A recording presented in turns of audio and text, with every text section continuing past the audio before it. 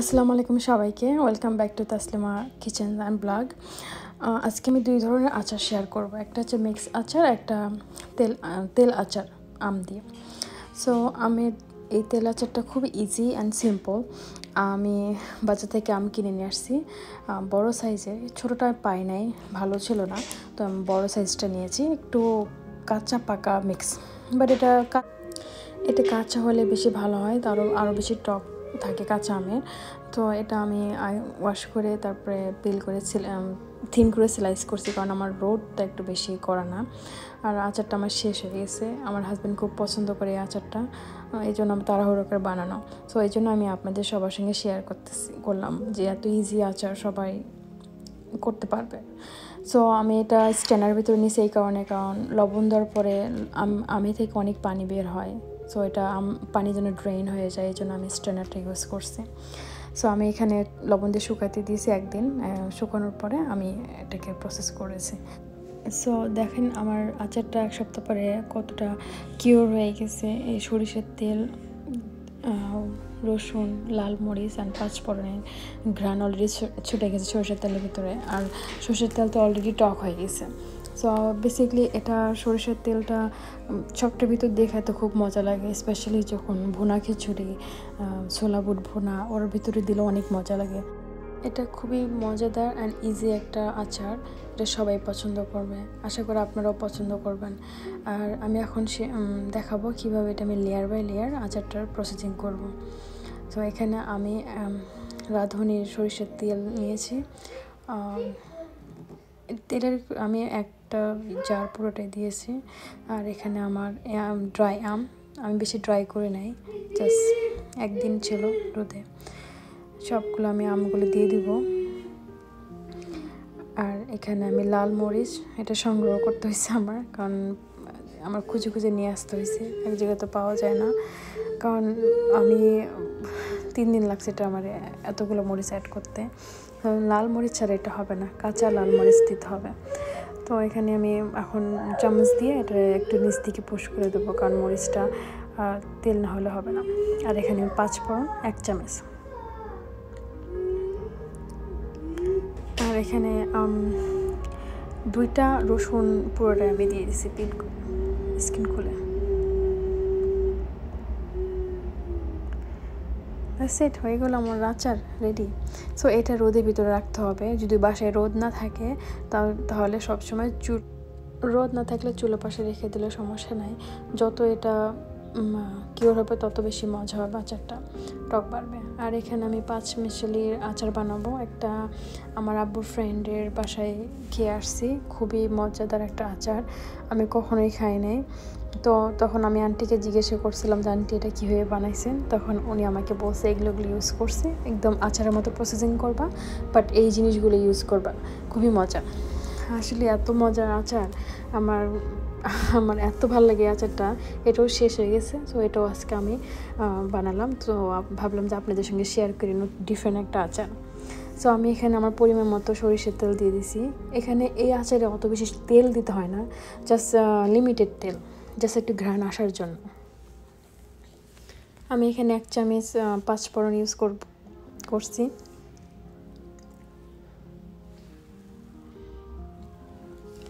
শুকনো মরিচ নিজের স্বাদের উপরে ডিপেন্ড করে ঝাল কতটুকু খাবে কি। আমি একটু লিমিটেড দিছি, বেশি ঝাল না, বেশি আবার একটু ঝাল না হলে ভালোও লাগবে না আচারটা। সো প্রথমে আমি জলপাই দিব, কারণ জলপাই সিদ্ধ হতে একটু টাইম লাগবে। জলপাই আর কাঁচা বড়ি ফ্রোজেন করা। দুটাই জলপাই দুই পাউন্ড অ্যান্ড বড়িও ওয়ান অ্যান্ড হাফ পাউন্ড জলপাই, শুকনো বড়ই অ্যান্ড কাঁচা বড়ই এইগুলো সিদ্ধ হতে একটু টাইম লাগবে দেখে যেন আমি আগে আগে দিয়ে দিয়ে দিছি। সো এটা আমি অনেক লো ল হিটে আমি এটা কুক করব। এখানে আমি কোনো ভিনেগার বা পানি ইউজ করব না। কারণ এই দুটো দিলে এটার টেস্টটা নষ্ট হয়ে যাবে। সো আমি এখন শুকনো বড়িগুলো এখন দিয়ে দেবো। কিছুক্ষণ একটু নাড়বো, নাড়ার পর আমি ফিফটিন মিনিট এটা আমি কুক করছি, ঢেকে রেখে। একদম লো ফ্লেমে লো হিটে রেখে দিছি। ফিফটি মিনিট পরে আমার এটা পুরো স্টিমে কুক হয়েছে আসলে। দেখেন কত ফুলে ফুলে গেছে আর বোরের স্কিনগুলো সব খুলে গেছে। সো এটা এখন নাড়তে হবে নন স্টপ সো আমি একটু টেস্ট করে, আমি একটু ইয়ে করে দেখলাম যে সিদ্ধ হয়েছে কিনা। তো, সিদ্ধ হয়ে গেছে। এখন আমি আলু বখারা দিয়ে দিব। কারণ আলু বোখারা সিদ্ধ, এটা আবার গায়ে থেকে কোনো মাংস খোলে না সো এটা ভাবে আগিয়ে দিয়ে দিলাম, কোনো সমস্যা হওয়ার কথা না।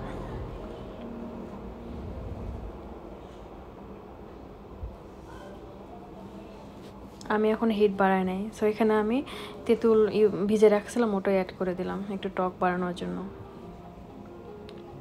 সেম হিটে আমি কুক করব। আমি এখানে গুড় আমাদের বগুড়ায় গোড় বলে অনেক অনেক দেশে অথবা অনেক অনেক নামই চেনে বাট আমরা এটা গোড় বলি। এখানে আমি একটা পুরোটাই দিয়ে দিছি।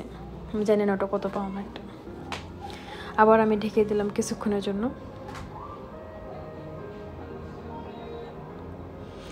গোড়ের গোড় দেওয়ার কারণে কত পানি ছড়াই দিচ্ছে টক থেকে। সো এই জন্য আমি কোনো পানি দিইনি। এখন আমি একটা আপেল স্লাইস করে ওটা বেশি মোটাও করে নিই বেশি চিকনও করে নেব মিডিয়াম একটা স্লাইস এখানে স্লাইস আম, একটা আম পুরোটা। চামড়া সহকারে দিয়ে দিছি। এটা আমি কিছুক্ষণ নাড়াচাড়া করে আবার ঢেকে রাখব কিছুক্ষণের জন্য। সবগুলো একটু মিক্স করে নিয়ে ঢেকে রেখে দেবো।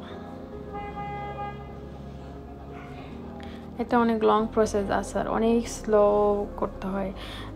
তা না হলে এটা পুড়ে যাবে, আর পানি দিতে হবে। পানি দিলেই আচারের টেস্ট চলে যাবে।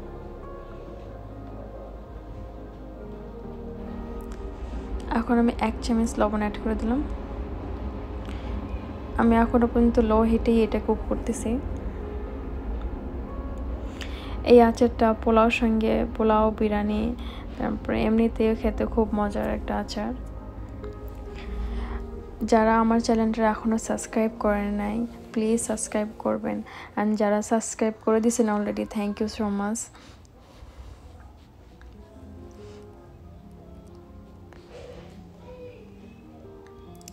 আমার আচারটা অলমোস্ট শেষের ভিতরে হয়ে গেছে। লাস্টের পর্যায়ে লাস্টে দশ মিনিটটা অনেক নাড়তে হয়, হবে। কারণ এই পানিটা একটু শুকাইতে হবে, কারণ এটা একটু ড্রাই ড্রাই থাকবে।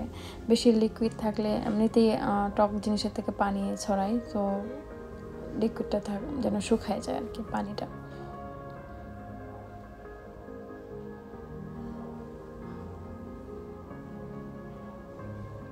আচারের কালারটা দেখতে এত মজা লাগতেছে যে সবগুলো খেয়ে ফেলে এরকম লাগতেছে।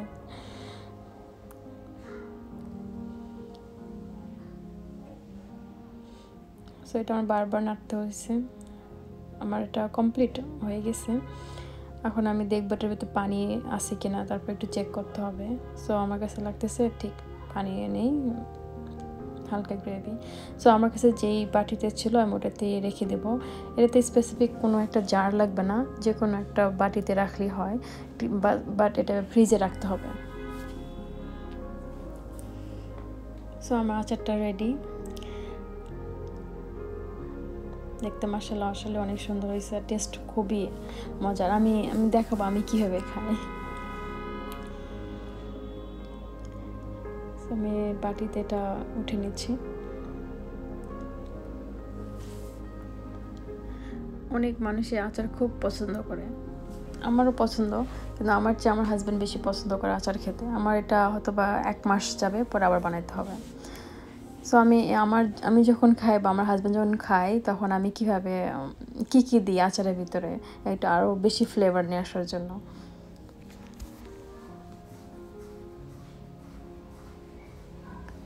সো আমি বাটিতে উঠে নিলাম। এখন আমি একটা একটা করে ইনগ্রিডিয়েন্টসগুলো অ্যাড করে দেবো। প্লিজ কমেন্টস করে জানাবেন আমার আচারটা কেমন হলো। আন্টি বলছে অনেক পারফেক্ট হয়েছে। তুমি আমি যেভাবে বলছি, তুমি হবেই ফলো করছ।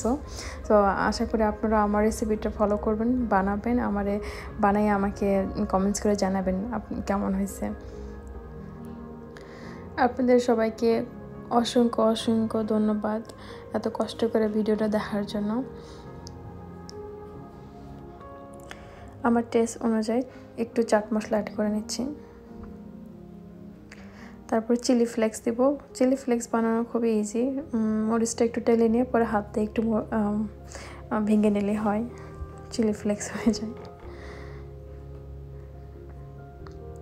সরি একটু লেট হচ্ছে। আমি কন্টেনারটা খুলতে পারতেছিলাম না। সো এখন আমি একটু অ্যাড করে দিলাম। এটা ঝাল পুরোটাই নিজের ওপরে কতটুকু খাবেন? সো আমি, আমার পরিমাণ মতো আমি ঝালটা নিয়ে নিলাম। অলরেডি ঝাল আছে তো আমি আর একটু ঝাল খেতে ইচ্ছা করতেছে সো একটু অ্যাড করে দিলাম। আমার স্পাইসি একটু মজা লাগে স্পেশালি আচারে একটু স্পাইসি খুব ভালো লাগে। সামান্য পরিমাণ বিট লবণ টেস্টের ওপরে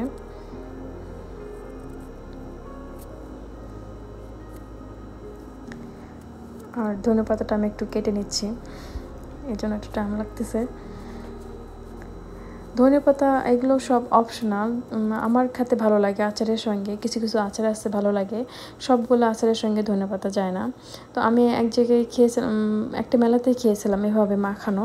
তো আমার ওটা খুব ভালো লাগছে প্রসেসিংটা তো আমি আমি এজন্য ওনাকে ফলো করি। যখন আমি আচার খাই, এভাবে বিট, লবণ চিলি ফ্লেক্স তারপরে কাঁচা কাঁচা মরিচ, ধনে পাতা, একটু চাট মশলা, তো টালা, জিরার গুঁড়া, খুব মজা লাগে একসঙ্গে মিক্স করে খাইতে।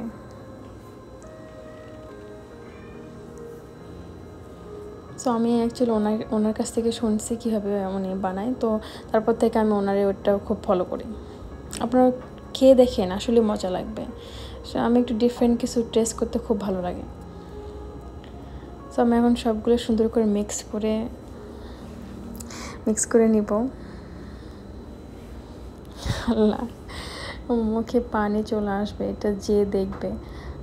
আসলে এত মজার আচার। ঝাল, যে যে, যারা ঝাল খেতে অনেক পছন্দ করে, তাদের জন্য খুবই কষ্ট হবে দেখতে স্পেশালি রমজানের সময়। সরি সবাইকে, আগে থেকে সরি বলে নিলাম।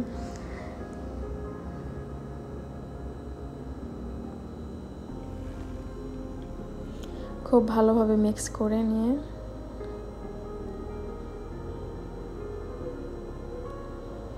আল্লাহ কী যে মজা, কি বলব? না না খাইলে বুঝতে পারবেন না কত মজা হয়েছে আচারটা। আমি যখন আচার খাই তখন খুব বাংলাদেশের কথা মনে পড়ে। যখন আমি বাংলাদেশে ছিলাম, সব বান্ধবী, বান্ধবীরা সবাই মিলে বসে বসে আচার খেতাম আর গল্প করতাম। ওই দিনগুলি আর নেই। খুব মিস করি বাংলাদেশকে। আর আমি কখনো ওই ফ্রেন্ডদেরকে দেখা হবে কি হবে না লাইফে আল্লাহ জানে। তো যাই হোক, আমি আমার চাইল্ডহুডের একটা মেমোরি শেয়ার করলাম আপনাদের সঙ্গে। আমার আচারটা কেমন হয়েছে প্লিজ কমেন্টস করে আমাকে জানাবেন। আর সবাই সেফ থাকবেন। সবাইকে অগ্রিম ঈদ ঈদ মোবারক। সবাই ভালো থাকবেন এনজয় করেন শপিং টপিং করেন, আর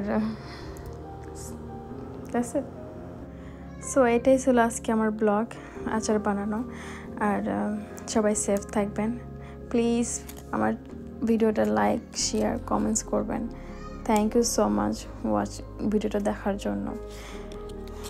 আবার ঈদ মোবারক সবাইকে। আসসালামু আলাইকুম। সবাই ভালো থাকবেন।